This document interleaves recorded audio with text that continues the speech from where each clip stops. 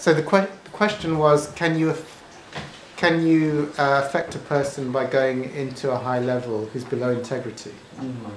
Um, there's lots of karmic influences onto whether that happens or not. Like with my mother, you know, I, I transcended my mother. It took five years of spiritual work, and then I had a loving relationship with her.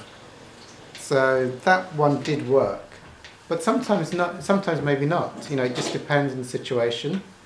Um, also, it's a lot of work to transcend a person, and whether they, uh, with a family member, I chose to be in that. But um, there, in every situation, there's different karmic factors.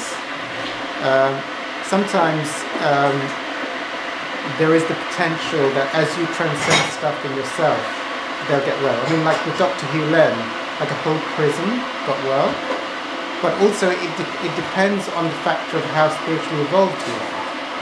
You know, so for you to like like uh, Dr. Hew Lenz shall we say is at a very evolved level of spirituality, like a saint and a teacher. So for him it took him some time to clear out a whole prison.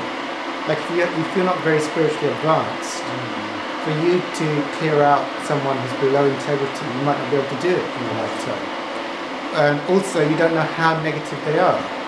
Like if you've got someone who's a little bit negative, just slightly below integrity, and let's say you're at a very high level, you know, and you, uh, and let's say you're 80 years old and you try and clear them out and you've got five years to live, you might not get to a place where they change.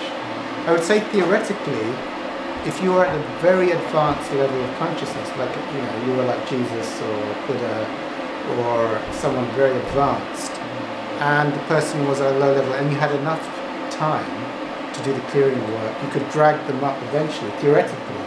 But in reality, what's your level of consciousness and how negative are they and how much time have you got? So you might say this guy's a pain in the neck and three years later you're doing all this stuff and they're still a pain in the neck. Mm. So it's not it's not a clear you know, I'm not, I can't say like do this for two days and then this asshole is going to be like a saint.